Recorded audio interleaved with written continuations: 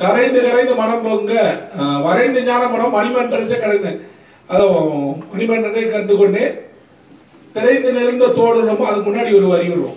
திரைந்த தோழனும் செல்வனோடமாய் திகழ்ந்தேனேன்றார் அப்ப என்னடா அந்த விரைந்து விரைந்து படி கிடக்கிறது தான் சொல்றாரு. அப்ப முதல்ல அவர் சொல்லும்போது சொல்றாரு? படியடி வான்மொழி பற்றினும் தோற்றான்றார் இடி முதல்ல நீ எதை பிடிப்ப? எல்லாரும் என்ன சொல்லிட்டு இருக்கோம்? இறைவனுடைய முதல்ல முடியத்தான் பிடிக்கிறடான்ற என்ன சொல்றாரு? படியடி வான்முடி பட்டினும் தோற்றா அடிமுடி எனுமால் அருப்பரும் ஜோதின்றாரு. இது நூத்தி முப்பது. அப்புறம் நூத்தி இருநூத்தி அறுபத்தி ரெண்டுல என்னமோ சொல்றாரு. அது படியடி கடந்தனை பார் இது பாரென அடிமுடி காட்டி அருப்பரும் ஜோதின்றாரு. ஜோதியின் ஜோதியின் சொரூபமே ஆதி அந்தம் என்றாரு ஆதியும் ஜோதி அந்தமும் ஜோதி. அப்புறம் இந்த சிறு ஜோதியே இயல் ஒரு ஆதி அந்தம் என்று அறிவிப்பது அறுப்பெரும் ஜோதி. ஆதியும் அந்தமும் அறிந்தன நீயே ஆதி என்று அருளிய அறுப்பெரும் ஜோதின்றாரு அப்ப இது என்னடா நம்ம ஒவ்வொன்றும் இங்க உள்ளே தான் ப்ராசஸ் இப்ப நான் சொன்னல நட்சத்திர ஒளி கண்ணொளி அந்த கண்ணொளியை நீ மன ஒளியா சந்திர ஒளியா மாத்தி சந்திர ஒளி என்ன பண்ணணும்? ஜீவ ஒளியாக சூரிய ஒளியாக ஜீவ ஒளியா ஆன்ம ஒளியா அக்னி ஒளியாக அக்னி ஒளியை கடவுள் ஒளியாக மின்னல் பிரகாசத்தை நிறுவனணும் இதை ப்ராசஸை மாத்துறது தான் வேலை. அப்ப என்னடா ஜீவன் இல்ல நம்ம சொல்றோம் ஜீவனுங்க. நிறைய முதல் இதுல கான்ட்ரவர்சி பண்ணியிருப்பான். மனம் எதுங்க உயிர் எதுங்க ஜீவன் எதுங்க ஆன்மா எதுங்க கடவுள் எதுவுமே இல்லை. ஒன்னே தான் எல்லாமே என்னது? ஒண்ணுதான். அது என்ன பண்ணி உனக்கு எப்படி இருக்கு? நட்சத்திர பிரகாசமா இருக்கு. இங்க அறிவை சொல்றாரு. என்ன சொல்றாரு? அறிவை சொல்லும்போது எந்திரிய அறிவு கருண அறிவு ஜீவ அறிவு ஆன்ம அறிவு கடவுள் அறிவுன்றாரு.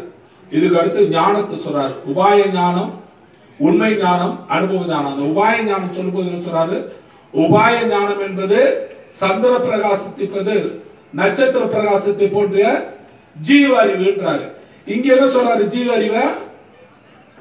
எந்திரிய கர்ண ஜீவன்றதை இங்க வந்து என்ன சொன்னாரு? இங்க வந்து சூரியனுக்கு வந்தவர். அங்க என்ன சொன்னாரு? ஞானம் வேறு இங்க அறிவு வேறு.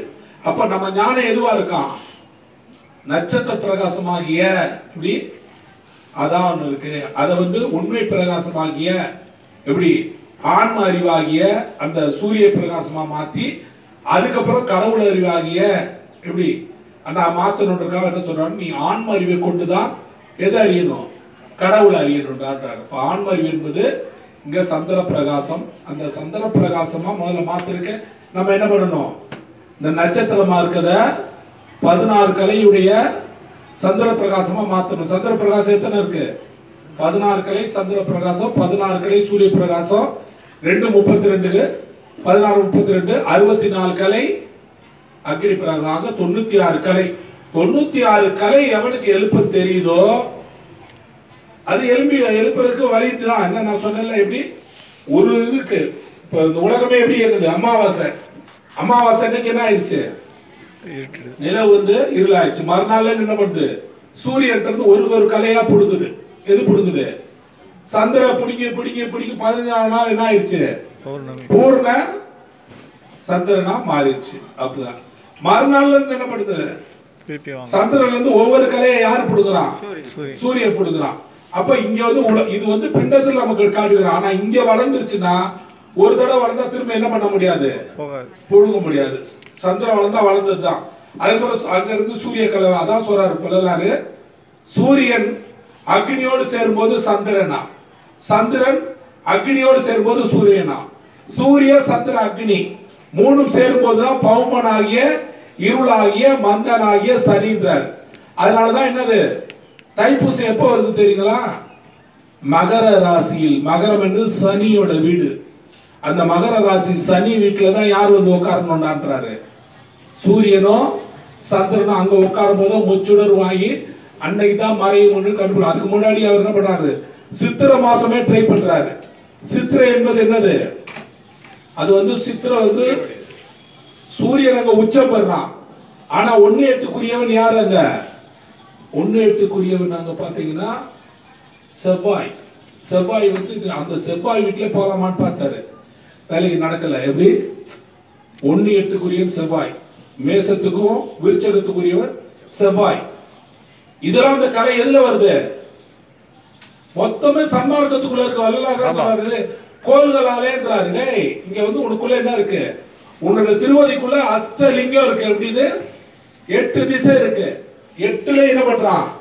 அஷ்டதிக்கு பாலகர்னு சொன்னான்ல. இப்ப திருவண்ணாமலையில போய் பாத்தீங்கன்னா உட்கார்ந்து பார்த்தா தெரியும். முதல்ல நடுவுல இருக்கிறது என்னது? இந்திரலிங்கம். இந்த பக்கம் இருக்கிறது அக்னி லிங்கம் அப்புறம் அதுக்கடுத்து சொல்றாரு இந்த பக்கம் பார்த்தா யமலிங்கம்.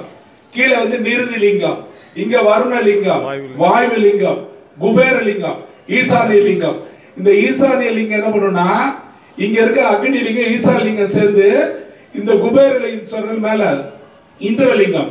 இந்திரலிங்கம் நடுவத்தனா அதான் வடகிழக்கு. இது ரெண்டும் ஒண்ணா சேர்ந்தோம்னா வடகிழக்குல தான் என்ன பண்ணும்? வடகிழக்கு தான் ஈசானியத்துக்கு. திக்கு அதனால அவனோட வடகிழக்குல தான் எது இருக்கு? இமயமலை வச்சிருக்கான்.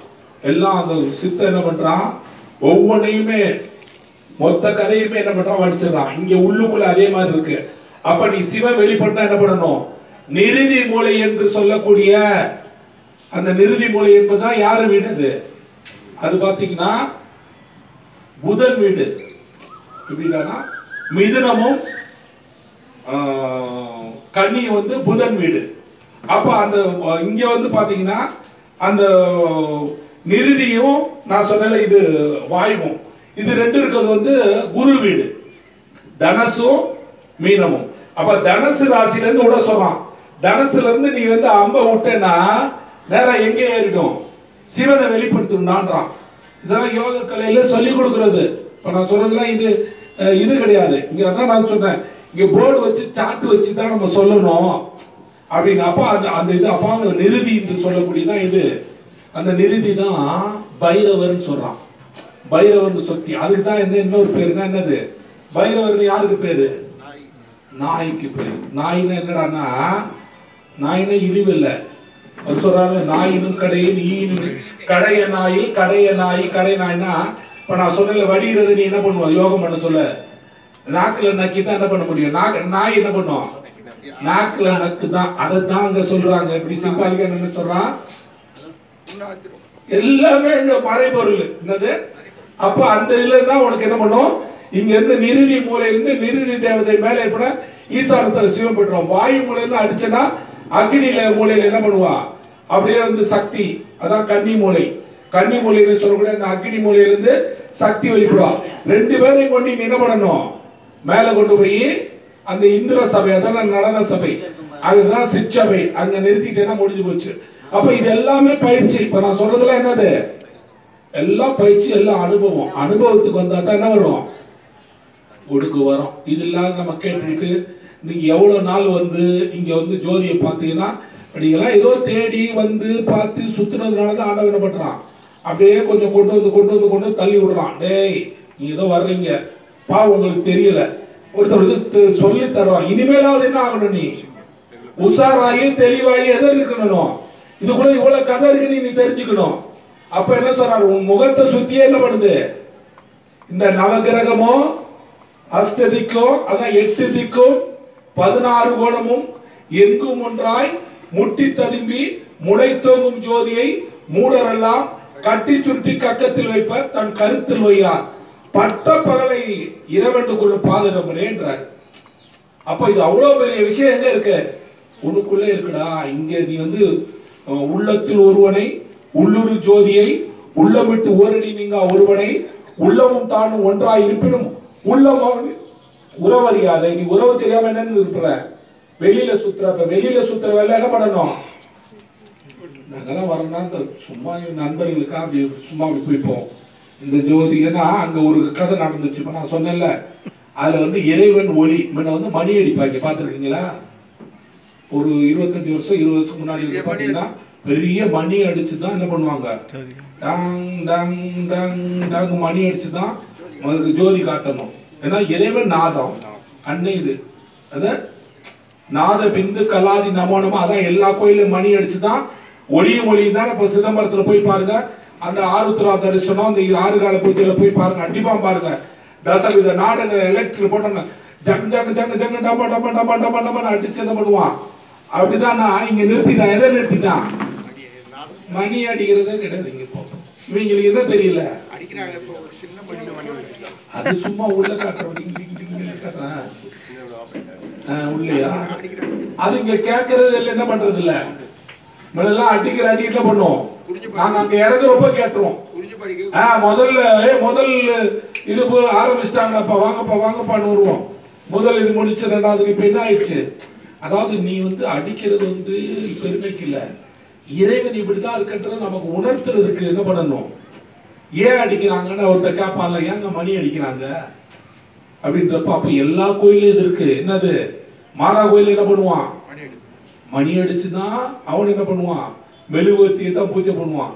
அவரும் என்ன பண்ணுவாங்க? எல்லாரும் ஒளி எழுப்பி தான் எல்லோருக்குமே ஒளி தான் இறைவனுடைய ஓங்காரம் தான் இறைவனுடைய சொருபம்னு தெரியும். அதெல்லாம் இந்த தொடர்ந்து இந்த வகுப்புகள் நம்ம நடத்துறதா என்ன பண்ணா விரைந்து எல்லோருக்கும் என்ன பண்ணணும்? எல்லாரும் மேலே ஏற்றுறது தான் எங்களுடைய எண்ணம். ஆனால் நீங்கள் வந்தாலே உங்களுக்கு என்ன கேரண்டி உண்டு? மரணமில்லா பெரும்பாலும் உண்டு. அதுக்கு எந்த வித சந்தேகமே கிடையாது. என்ன நீங்கள் வரணும்? நமக்கு ஆயிரம் வேலை இருக்க தான் செய்யும்.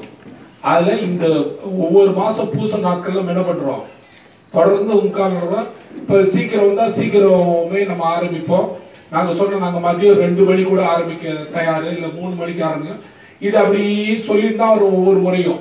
ஆனால் ரெண்டுக்கு யாரும் வரதில்ல மூணு அப்புறம் நாலு. ஏன்னா மக்கள் வர வர அதாவது ஆ- ஆயிரம் பிரச்சனை வச்சுருக்கோம். ரெண்டாவது என்னடானா என்னடான்னா நம்ம இது மாதிரி ஒரு ஞானத்தை அடைந்து இறைவனை அடைய போகும்போது நிறைய பிசாசு கூட்டம் என்ன பண்ணும்னா உன்னை வர விடாது நிறைய வேலையை செய்யும். அதுல நீ ரொம்ப ஜாக்கிரதையா முண்டி வெளியில வர மட்டும் தான் எல்லாம் வர முடியும்? ஏன்னா நமக்குள்ளே இருக்குது அப்படி அதுதானே. நமக்குள்ளே இருக்க தொண்ணூத்தி ஆறு தத்துவங்களுமே நம்மளை எங்க ஏற விடாது நீ எப்படியாவது திரும்ப குளிக்கு போனா அடுத்த ஒரு பிறகு எடுத்து உங்களோட சேர்ந்து குமால் அடிக்கலாம் தான் அது பார்க்கும். அப்ப அதை ஒழிக்கிறதா தத்துவம் அனைத்தும் தாமரும் ஒளிந்திட. சத்துவம் ஒன்றே தனித்து நின்றோங்கிட. உலகெல்லாம் விட உனக்கு சொன்னார்ல. தத்துவம் அனைத்தும் தனித்தனி கடந்தே தத்துவாதீத மேல்நிலையில் சித்தியல் முழுதும் தெரிந்த அவன் அவன் அவை மேல் சிவநிலை தெரிந்திட சென்றேன். ஒத்த வந்த நிலைக்கும் யாமும் என் உணர்வும் ஒரு துற கரைந்து போயினம் என்று. அத்தகைய உணர்ந்து வலுத்த நின்றோமும் அருப்பெரும் ஜோதி அப்ப அந்த தத்துவத்துல என்ன பண்ணணும்?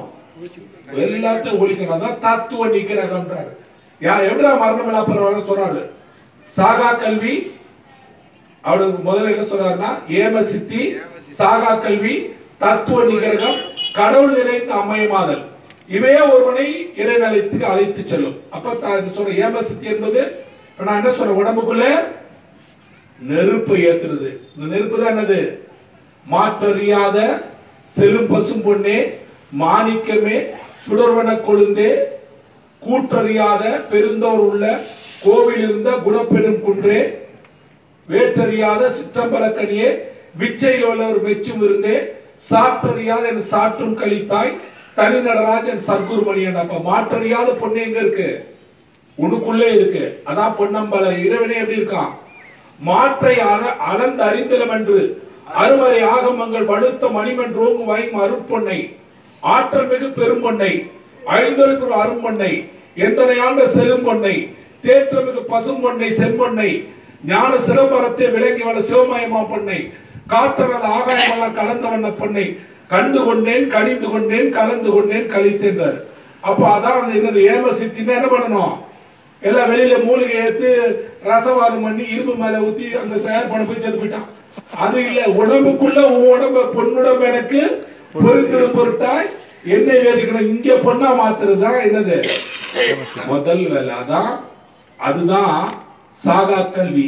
இது சொல்றாருல ஏமசித்து இது செய்யறதுதான் சாகா கல்வி. இது செய்யும் போது நெருப்பு ஏற என்ன பண்ணும்? தத்துவம் எல்லா தத்துவமும் ஒன்னொன்னா என்ன ஆயிடும்? ஒன்னொன்னே எரிச்சு நிக்கிறகம்னா என்ன பண்ணும்? அழிக்கிறது ஒழிக்கிறது எரிக்கிறது பசும் பண்றது காணாதாக்குறது. ஒன்னொன்னா தானா ஒழிஞ்சிடும் தத்துவ நிக்கிறகம் அப்புறம் கடவுள் நிலை.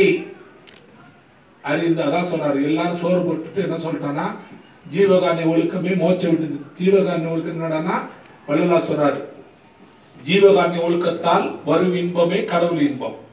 ஜீவகாரண ஒழுக்கத்தால் வரும் விளக்கமே கடவுள் விளக்கம். இவ்விளக்கத்தையும் இன்பத்தையும் சதாகாலம் கண்டு அனுபவித்து பூர்த்தி அடைந்து நினைவு பெற்ற சாத்தியரை ஜீவன் முக்தர்கள். இவர்களை இறைவனை அறிவால் அறிந்து அமயமாவார்கள் என்று சத்தியமாக அறிய வேண்டும். மூன்று பாகத்தில் என்ன எழுதுறாரு? ஜீவகாரண ஒழுக்கம் மூன்று பாகத்தில் எழுதுறாரு. அப்ப என்ன பண்ணணும்? உன் ஜீவனுக்கு காரியம் பண்ணி உனக்குள்ள ஏத்தி நீ இறைவனை என்ன பண்ணணும்? நிறைவு பெற்று இறைவனை அறிந்து உன் அறிவால் அறிந்து அம்மயமா நீ ஆனாதான் என்ன ஆவ? டெய்லி ஐநாயிரம் பேர் சோறு போட்டுருக்கேன் போட்டுனாரு உன்னையோட ஜெயலலிதா போச்சு இருக்க எல்லாருமே போட்டாங்க. இன்னும் போட்டுன்னே இருக்கா அங்கெல்லாம் பார்த்தீங்கன்னா இதுல வடிச்சு வடிச்சு கொட்டிக்கிட்டு இருக்கான் திருப்பதியில. அங்க தர்மசாலா கொட்டின்னு இருக்கான்.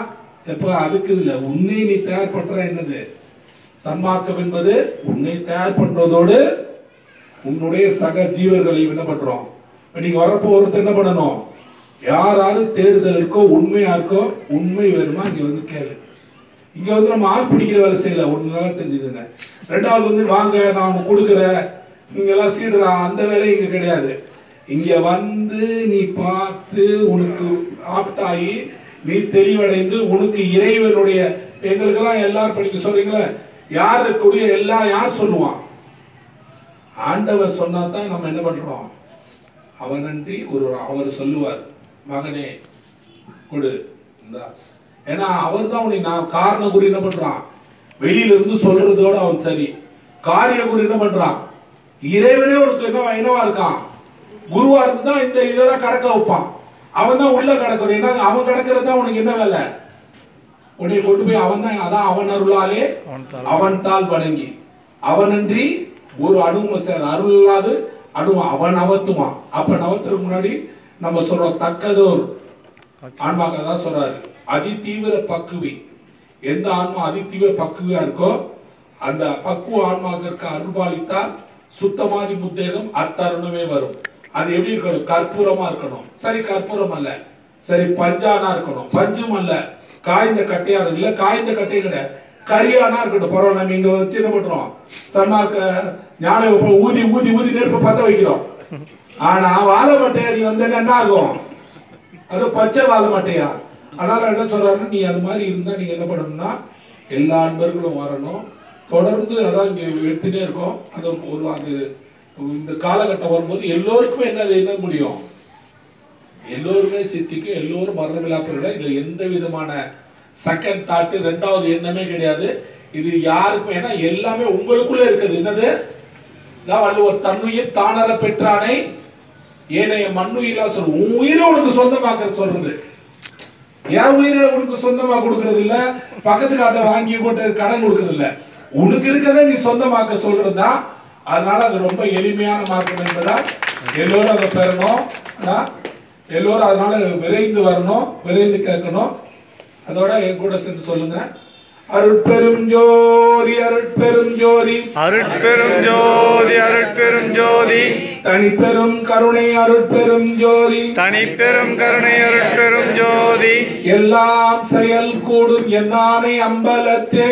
எல்லாம் செயல் கூடும் என்னானே அம்பலத்தே. எல்லாம் வல்லாந்தனை ஏத்து. எல்லாம் வல்லான் தனை ஏத்து. வந்தருள் புரிக. வந்தருள் புரிய விரைந்தது தருணம். விரைந்தது தருணம். மாமணி மன்றிலே. மாமணி மன்றிலே. ஞான சுந்தர வடிவ. ஞான சுந்தர வடிவ. ஜோதியாய் விளங்கும். ஜோதியாய் விளங்கும். சுத்த சன்மார்க்க சர்க்குருவே சுத்த சன்மார்க்க சத்குருவே. தந்தருள் புரிக. தந்தருள் புரிய வரமெல்லாம் அல்ல. அதமெல்லாம் அல்ல. தனி அருள் ஜோதியை. தனி அருள் ஜோதியை. எங்கள் சிந்தையில் புணர்ப்பித்து. எங்கள் சிந்தையில் உணர்ப்பித்து எங்களோடும் கலந்தே எங்களுடன் கலந்து செய்வித்தருள்க. செய்வித்தருள்க. செய்வகையே. செய்வகையே. வாலியன் ஆண்டவன். வாழியன் ஆண்டவன். வாலியன் கோணருள் வாழியன் கோணருள் வாய்மை என்றும் வாலி வாழ்வியன் வாழி. எம்மான் புகழ் வாலி எம்மான் புகழ் வாழி. என் நாதன் மலர்பதங்கள் வாலி என் நாதன் மலர் வாழி. என் நாதன் மலர்பதங்கள் வாலி என் நாதன் மலர்பதங்கள் வாழி. சுத்த சன்மார்க்க பெருநெறி. மெய் சுத்த சன்மார்க்க பெருநெறி. மாண்பு கொண்டு வாலி மாண்பு கொண்டு வாழி. வையமும். வையமும். வானமும். வானமும். மற்றவும் வாலியவே மற்றவும் வாழியவே. வாலியனை தூக்கி தூக்கி வைத்த கரதலங்கள். வாழி என தூக்கி வைத்த கரத்தலங்கள் வாரி எல்லாம் வல்ல மணிமன்றம். வாழி எல்லாம் இல்ல வாரி மணிமன்றம் நடம். வாழி நடம். வாரி நற்சோதி. வாழி அருஜோதி வாரி நடராயன். வாழி நடராயன். வாரி சிவஞானவலி. வாழி சிவஞான வழி எல்லாமுடைய எல்லாமுடைய தனிப்பெரும் தலைமை. தனிப்பெரும் தலைமை. அருட்பெரும் ஜோதி அருட்பெரும் ஜோதி அற்புத கடவுளே. அற்புத கடவுளே. இது தொடங்கி இது தொடங்கி எக்காலத்தும் எக்காலத்தும் சுத்த சன்மார்க்கத்தின் சுத்த சன்மார்க்கத்தின் முக்கிய தடைகளாகிய முக்கிய தடைகளாகிய சமயங்கள் மதங்கள் மார்க்கங்கள் மார்க்கங்கள் என்பவற்றின் என்பவற்றின் ஆச்சார சங்கற்ப விகற்பங்களும் வருணம் ஆசிரமம் ஆசிரமம் முதலிய முதலிய உலகாச்சார உலகாச்சார சங்கற்ப விகற்பங்களும் எங்கள் மனதில் பற்றாவண்ணம் பற்றாவண்ணம் அருள் செய்தல் வேண்டும். அருள் செய்தல் வேண்டும். சுத்த சன்மார்க்கத்தின் லட்சியமாகிய லட்சியமாகிய ஆன்மநேய ஒருமைப்பாட்டுரிமை உண்மைப்பாட்டுரிமை எங்களுக்குள் எக்காலத்தும் எக்காலத்தும் எவ்விடத்தும் எவ்விடத்தும் எவ்விதத்தும் எவ்விதத்தும் எவ்வளவும் எவ்வளவும் தடைபடாமல் தடைபடாமல் விரைந்து விளங்க அருள் செய்தல் வேண்டும். அருள் செய்தல் வேண்டும். எல்லாமுடைய எல்லாமுடைய தனிப்பெரும் தலைமை அருட்பெரும் ஜோதி அற்புத கடவுளே. தேவரீர் திருவருள் திருவருள் பெருங்கருணைக்கு பெருங்கருணைக்கு வந்தனம் வந்தனம் வந்தனம் வந்தனம் வந்தனம். கொல்லா நெறியே கொல்லா நெறியே உபலயம் ஓங்குக குவளையம் ஓங்குக. எல்லா உயிர்களும் எல்லா உயிர்களும் இன்புற்று வாழ்க. இன்புற்று வாழ்க. மலரடி வள்ளல் மலரடி வாழ்க வாழ்க. வாழ்க வாழ்க. திருச்சிற்றம்பலம். திருச்சிற்றம்பலம்.